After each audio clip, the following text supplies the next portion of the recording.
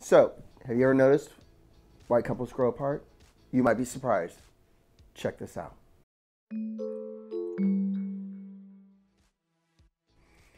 So, today I want to talk about something that comes up often about why couples grow apart.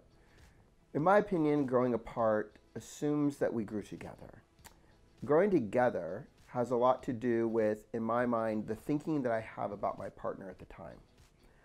Um, it seems next to impossible to grow apart because, well, recognizing that the thinking I have at the time, when I first met Renee, when I first met Renee, the growing together came because I respected her thinking and the thinking was very unique and it wasn't my thinking.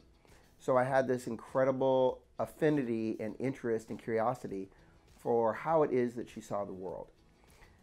That attraction or that curiosity drew us closer together. So that's probably the growing together part. Growing apart for me is when I started thinking that that thought I had about Renee was the only thought to have about Renee. In other words, it became stale, right? Uh, why do why do my Cheetos get stale? Well, because I've left them open and they're not fresh and they're not new.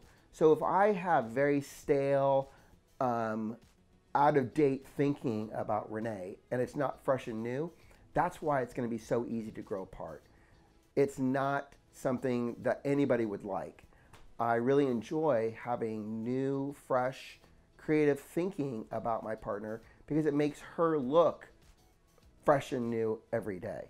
And realizing that and realizing that every single moment of the day she's having different thoughts that keep her fresh as long as my thinking and I'm aware that I have the ability to think differently about her.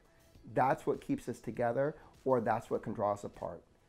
Keeping it fresh, keeping it light is a great way to stay together. You get stale, you grow apart. That's why a lot of people, when they have an affair, an affair is exciting, an affair is scandalous, an affair is clandestine, it's risky, it's adventuresome. Yeah, but why can't I have that same thinking about the person I'm married to? Interesting how thinking can either draw you closer together or pull you apart. Keep your relationship fresh and light, and don't let it go stale. Thanks for watching.